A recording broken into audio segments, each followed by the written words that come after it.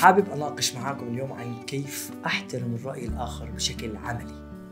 أول خطوة الصمت وإنك تقبل الرأي الآخر. وفي هذه الحالة إنه يكون الرأي الآخر مخالف وبعيد كل البعد عن الرأي أو المبادئ الشخصية. فالصمت في هذه الحالة ما بيعني قبول الأفكار المطروحة لكنه اختصار للشر. وابتعاد عن نقاش ما له قيمة. لكن إذا كان ولا بد أنه أنصح الطرف الآخر فبنصحه لكن بطريقة محترمة بدون إهانات. اثنين عبر عن رأيي الشخصي لما الطرف الثاني بيطلب مني أعبر لأنه التدخل في النقاش وإعطاء الرأي معارض بدون سبب ممكن يعمل مشكلة وبيوتر الجو.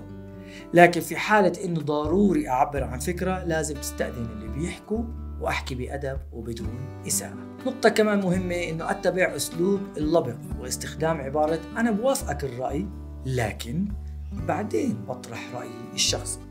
هذا الأسلوب بيخليك تبني حبل من المودة والاحترام المتبادل بين طرفين النقاش وبيساعد على تقبل الرأي الآخر بكل سهولة.